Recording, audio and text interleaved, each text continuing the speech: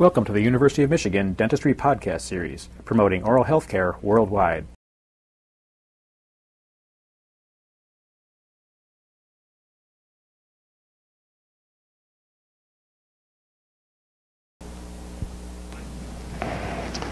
This is a tape designed to introduce you to the second clinic session in Oral Health 504.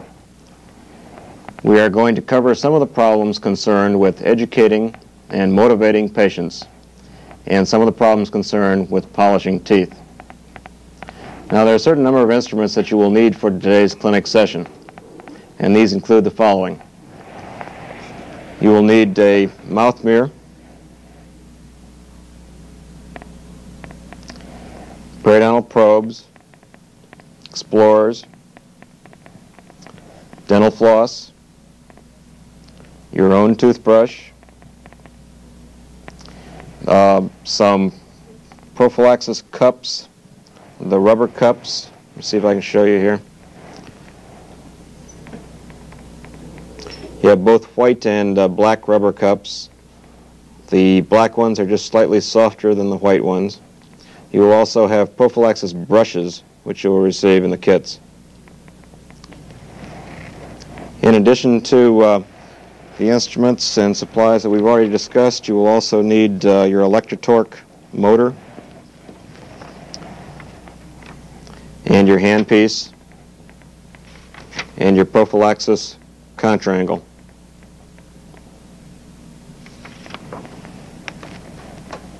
The, uh, you will need a patient napkin and bib, bib clips that go along with it, some uh, 2 by 2 gauze squares, disclosing solution,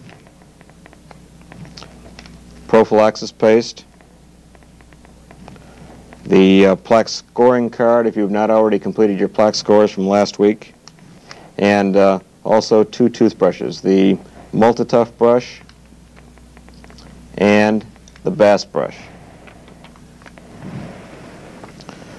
First, what I'd like to demonstrate to you now is some of the commonly made mistakes uh, that patients make in trying to learn to floss their teeth.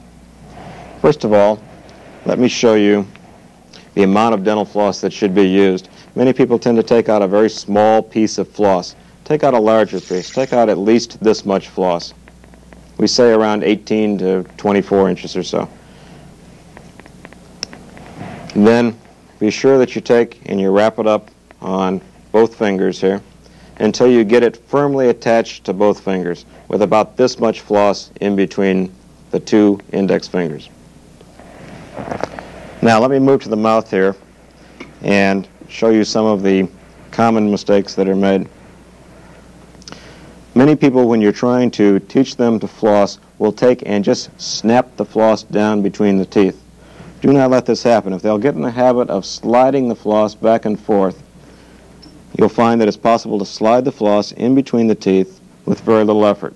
And also, even though people slide it in between the teeth, they tend to snap it back out again. Don't let them do that, but slide it back out again. Now, once the floss has been slid between the teeth to clear the contact area, then it's important to have the fingers as close to the tooth that you're working on as possible.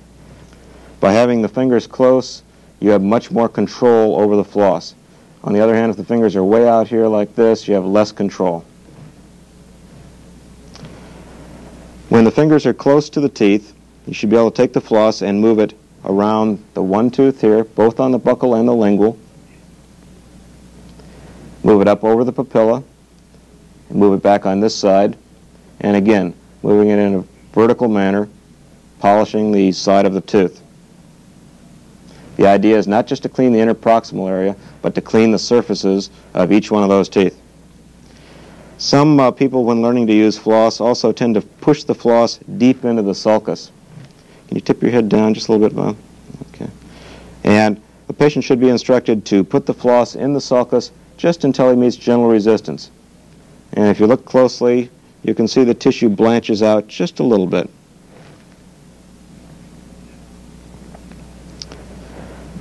When uh, flossing, uh, one should also remember to use the floss around the distal edge of uh, upper and lower second molars. Uh, it's also important to use the floss in areas of uh, that border edentulous spaces. These uh, edentulous spaces need to be cleaned just like any other areas in the mouth. Again, up here where we have a diastema between the teeth, this is an excellent area for floss to come in between the teeth again. One on this side here, and then on this side here. Final summary remark about floss. There's always some controversy, again, about whether to use waxed or unwaxed floss. I think you'll find that using unwaxed floss uh, will work in mouths that have smooth restorations and the absence of any roughness or overhanging margins on the restorations. On the other hand, if there is a fair amount of roughness, uh, which uh, you're not equipped to remove at this stage in your training, then I would suggest wax floss because it tends to tear or shred less. Now, the Next areas that we'd like to discuss would be those that concern toothbrushing technique. Let, uh, the two brushes that uh, you have will be both the Bass brush and the Multituff design brushes. Now, this is the Bass brush here. This is the Multituff brush. Most of the things that we're going to talk about in connection with toothbrushing techniques do not apply specifically to one technique or the other, but are generalized mistakes that are made. A frequently missed area is the buccal of the maxillary posterior teeth. In order to gain access to this area, a patient should be instructed to open slightly and swing his jaw to the right or to the left as is indicated. This enables you to take the brush and effectively angle the bristles so the plaque may be cleaned off of those surfaces.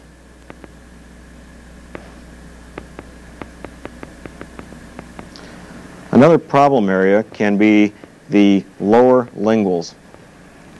In order to get these areas, the patient should be instructed to open wide and place the brush against the lower teeth so that the bristles contact the gingival crevice. A common mistake is for patients to think that they have angled the brush so that the bristles have reached the junction between the tooth and the gum. However, many times the brush is angled so that the bristles only move back and forth above that line. It's necessary to instruct the patient to tilt the brush or angle the brush toward the gingival sulcus so that the bristles, in effect, enter the gingival sulcus and clean at the junction of the tooth and the gum, or the dentogingival junction. Another uh, frequently uh, missed area or difficult area for patients to manipulate the toothbrush in is the curvature around the lingual of the upper and lower front teeth. It's uh, very difficult to take the brush and place it so that the bristles will cover all of those lower front teeth. And it's suggested that instead of trying to manipulate the brush in this manner, that the brush be turned around and placed like this so that the bristles will enter the gingival sulcus. Another frequently uh, made mistake in this same area is for the, the patient to pull out on the brush. When the uh, brush is pulled out, the bristles tend to fan away from the teeth on the lingual. It's necessary to instruct them to press in the vertical or the long axis of the toothbrush bristles in a manner such as this. Many times um, it's difficult uh, when manipulating the toothbrush and there is an alteration in gingival contour which results in the dentogingival junction being at uh, different levels between different teeth such as between the lateral and the cuspid and this premolar. If one are using a uh, technique of toothbrushing which tends to work the bristles at the dentogingival junction, many times that area at the dentogingival junction will be missed. It's necessary to instruct the patient to manipulate the brush so that he enters the dentogingival junction on those isolated teeth.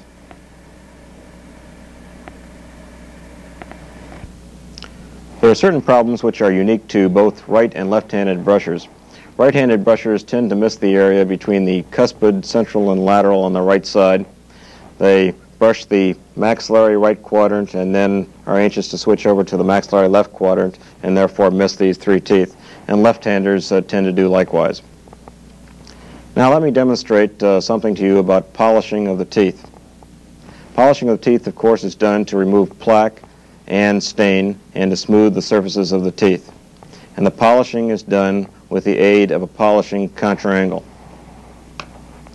Polishing uh, contraangle fits on the end of your straight handpiece. And the polishing is done with the help of a rubber cup. Now the rubber cup is inserted in the end of the polishing handpiece by turning the rheostat in a counterclockwise direction and merely just taking the cup and placing it like this. It's um, helpful to rotate the cup in a counterclockwise direction also when putting prophylaxis paste in the cup, doing it like this. It avoids splattering and a lot of scraping down in here to get the prophylaxis paste out. The cup should be rotated at a moderate amount of speed, one of the first uh, one or two settings on the rheostat. Speed does sounds about like this. It's important not to rotate the cup too fast because you produce a fair amount of heat on the surface of the tooth and in addition to that will splatter some prophylaxis paste. Once you've loaded the cup with prophylaxis paste, position it on the tooth before turning it on. This also avoids uh, splattering of prophylaxis paste. Once you position it on the tooth, rotate the prophylaxis cup, pressing it with fairly firm pressure against the surface of the tooth so as to fan it out slightly. In fanning it out, it should enter the gingival sulcus and trace it right around the edge of each tooth. Move it from tooth to tooth so that you do not produce excessive amount of heat or temperature change on any one tooth, and you can move it back and forth between teeth. It's important to use a, enough prophylaxis paste so that the teeth are well covered at all times. The finger rests uh, which you use should be stable so that you're not using the handpiece uh, free-handed. When uh, polishing the labial aspects of the upper anterior teeth, I've many times seen people coming in here this way, which is uncomfortable. Anytime you're using the handpiece in an uncomfortable position, turn it around because uh, if it's uncomfortable, most likely there is a correct position that will enable you to work more comfortably. Upon completion of polishing of the buccals and linguals of the teeth, then one should take dental floss and use it in between the teeth to polish the proximal surfaces of the teeth. Many times, uh, if the contacts are close and tight, if there's a lot of prophylaxis paste in between the teeth, it will rip or shred or tear the floss. If this happens, it may be necessary to rinse the patient out slightly and then go back and floss interproximally.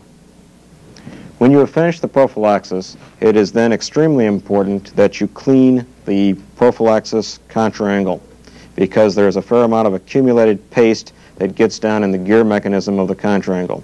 Let me now demonstrate the methods to you for cleaning the contraangle. In order to prolong the life of the prophylaxis handpiece, it should be dissembled following each prophylaxis. Three tools are issued with each prophylaxis contraangle to aid you in dissembling the handpiece.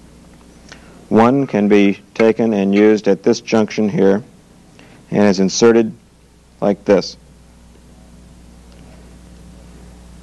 Now I've loosened this up here and now I can take and just unscrew this part of the handpiece. There is generally not much prophylaxis paste that accumulates in this gear here, but it should be dissembled at this joint and cleaned. Where the majority of the prophylaxis paste seems to accumulate is in the head of the contraangle.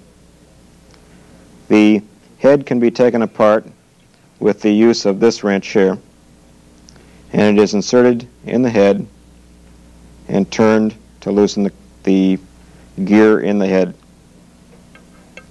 You then take and unscrew that. And prophylaxis paste tends to work up in that joint. It's necessary to clean out the gears and the handpiece, or the, the head of the handpiece, and then take each of these three pieces, this piece here, this, and this, these three articles and send them into sterilization. In sterilization, they will take and run these through the ultrasonic cleaner. They are put in Proclave emulsion to protect them from rust. Then they are returned to you in an autoclave bag. Carefully check the autoclave bag when it's returned from sterilization to see that all pieces of the handpiece are present.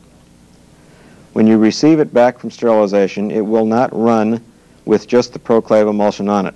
It's necessary to take the grease which has been issued to you with the handpiece and place a small dab of grease on each one of the gears. Here and on here. Never leave a prophylaxis contraangle without grease on it because if it rests for a period of, of months or weeks without being used, rust will form in these gears, and when you go to use it, uh, say in another month or so, you will have difficulty because it will be rusted shut.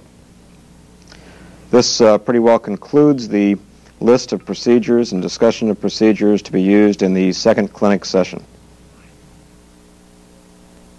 You've been listening to a presentation from the University of Michigan School of Dentistry, which is dedicated to supporting open learning and open educational resources. This recording is licensed under the Creative Commons. It may be reused and redistributed for nonprofit use. Please attribute materials to the University of Michigan School of Dentistry and redistribute under this same license. For more information on how this and other University of Michigan School of Dentistry recordings may be used, visit www.dent.umich.edu/license.